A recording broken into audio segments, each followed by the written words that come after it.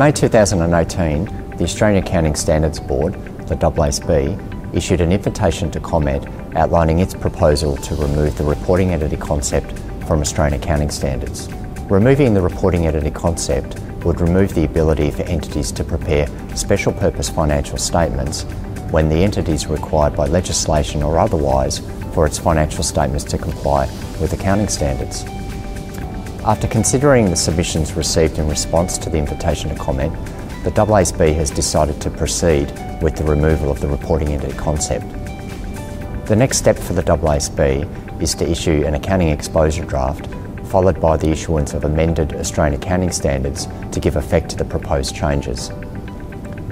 The amended Australian accounting standards are expected to apply to annual reporting periods beginning on or after 1 July 2020.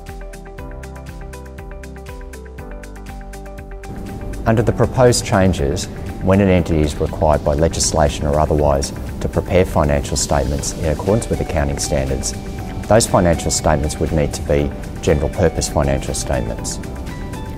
General purpose financial statements are required to comply with all of the recognition and measurement requirements of accounting standards and the disclosure requirements of either all Australian accounting standards for Tier 1 general purpose financial statements for those entities that have public accountability, or otherwise the disclosure requirements of accounting standards reduced disclosure requirements, Tier 2 general purpose financial statements for those entities that do not have public accountability.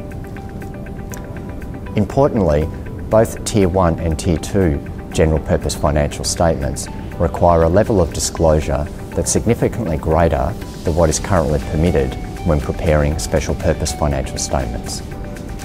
This will have a significant impact on those entities that currently prepare special purpose financial statements to satisfy their reporting requirements.